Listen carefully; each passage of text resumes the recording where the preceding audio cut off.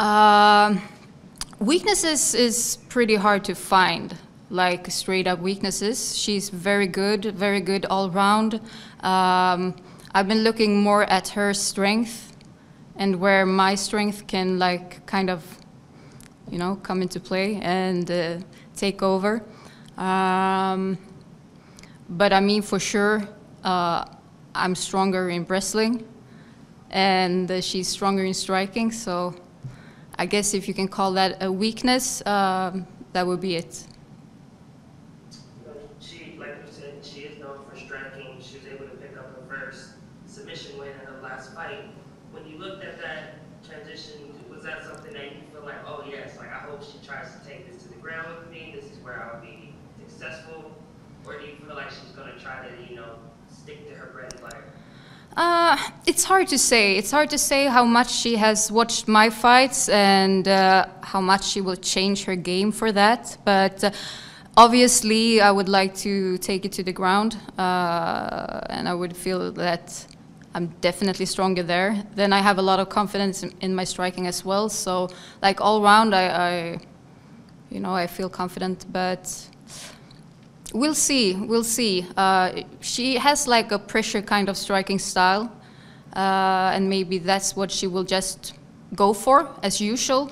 Uh, or she has watched me a lot and, and changed up her game for this fight. Uh, we'll see. It's uh, that's you know the interesting thing.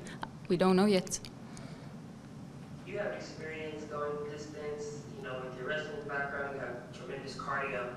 You feel like that could be a potential advantage for you come Saturday? Yes, for sure. For sure, that's something uh, we've been thinking about a lot. Like she is, uh, that could also be like a weakness for her. She hasn't gone, I don't think, any fight, like the whole three rounds. Uh, I'm not sure, maybe. She has mostly finishes, right?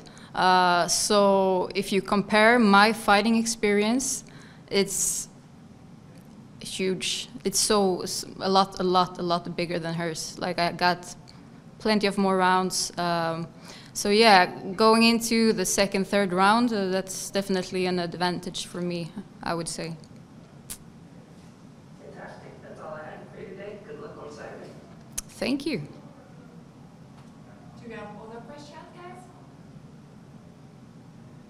Yes, go ahead. Obviously, Dakota's kind of been pushed as kind of the face of PFL Europe. She's on all the posters. What would it mean for you to kind of derail, derail that hype train? Uh, take that again. The question. Um, obviously, Dakota's been pushed as kind of a face of PFL Europe. Yeah. She's been on a lot of the marketing, a lot of the posters. What would it mean for you going forward to derail that hype train? Oh, I mean, I, I'm not. I'm not seeing it as like derailing a hype train. It's it's another fight, and you know the end goal is the final and winning that. So, I mean, it would mean everything. It's what I'm, you know, it's what I've been training for the last uh, half year now. This fight. So, but her being like this hype train or not, uh, I don't really care about that.